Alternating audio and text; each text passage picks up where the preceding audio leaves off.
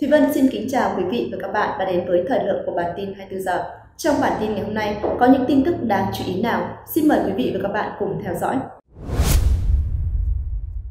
Xin kính chào quý vị và các bạn đang theo dõi bản tin 24 giờ. Thưa quý vị và các bạn, lũ lụt là một trong những thiên tai cực kỳ nguy hiểm. Dòng nước dữ dội đủ mạnh có khả năng quét sạch toàn bộ thành phố khỏi bản đồ thế giới, gây nên những nỗi ám ảnh kinh hoàng cho con người.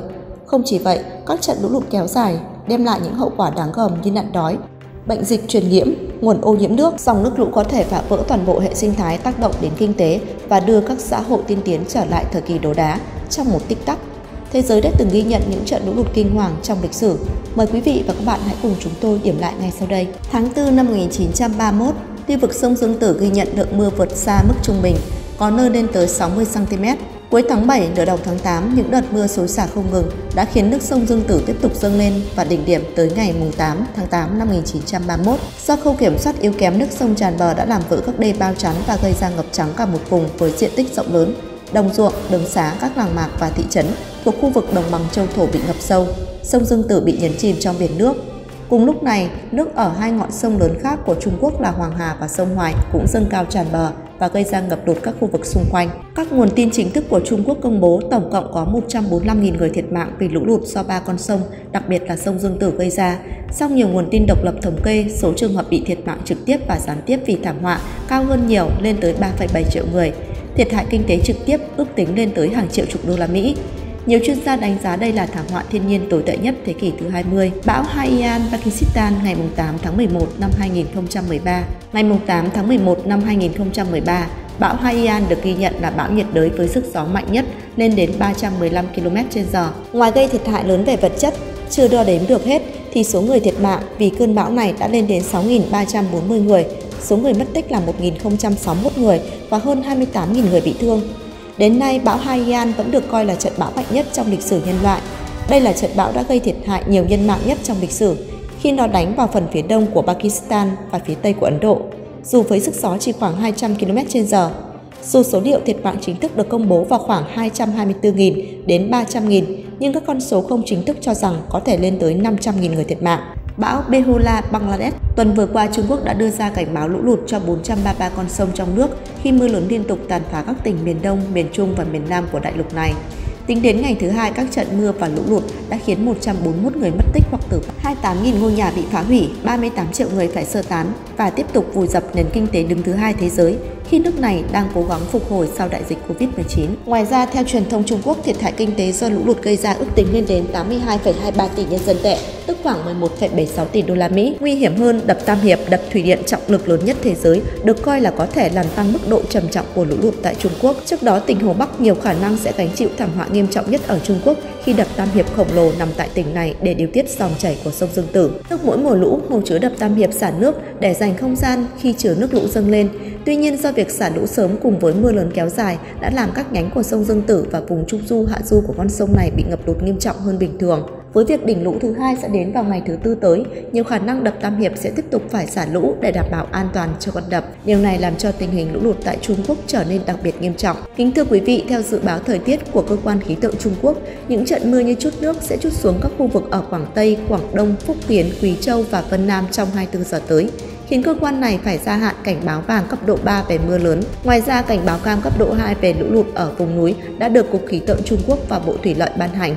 Tân Hoa Xã cho hay các nhóm chuyên gia đã được cử đến Quảng Đông và Quảng Tây để hướng dẫn người dân thực hiện biện pháp phòng ngừa, bao gồm giám sát thiên tai, tuần tra đê điều, hồ chứa và ngăn chặn lũ lụt. Các thành phố lớn ở tỉnh Quảng Đông bao gồm Quảng Châu và Trung Hải đã công bố kế hoạch đóng cửa các trường tiểu học và trung học cơ sở cũng như các phương tiện giao thông công cộng trước những trận mưa bão mạnh nhất năm 2023 gây ra nguy cơ lũ quét và thảm họa địa chất. Các chuyên gia bày tỏ tin tưởng rằng với một cơ chế ứng phó khẩn cấp hoàn thiện hơn và sự chuẩn bị sớm, Quảng Đông khó có thể lặp lại thảm kịch đại hồng thủy ở Trịnh Châu năm ngoái. Các nhà dự báo thời tiết ở Quảng Đông cho biết tỉnh này dự kiến sẽ có mưa lớn đến cuối tháng.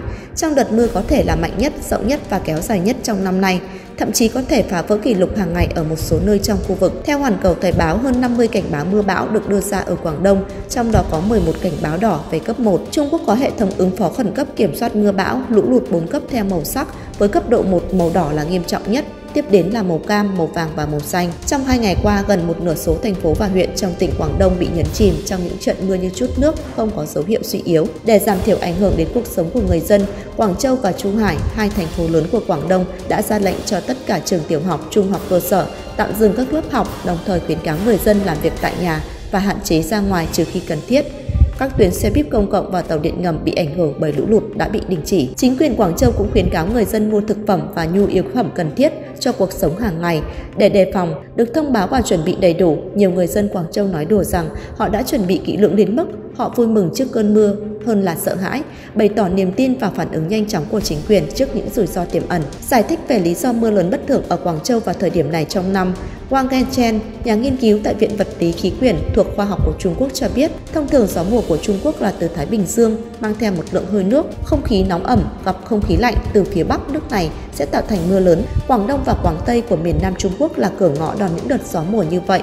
Do đó lượng mưa sẽ tương đối lớn về quy mô và số lượng. Ông Wang Genchen lưu ý rằng Thông thường mùa mưa bão ở Trung Quốc xảy ra vào khoảng tháng 6 và tháng 7, nhưng năm nay lại xảy ra sớm hơn. Nguyên nhân do các phơn lạnh ở các vùng phía Bắc của Trung Quốc tồn tại lâu hơn và mạnh hơn những năm trước, tràn xuống miền Nam và gặp gió mùa.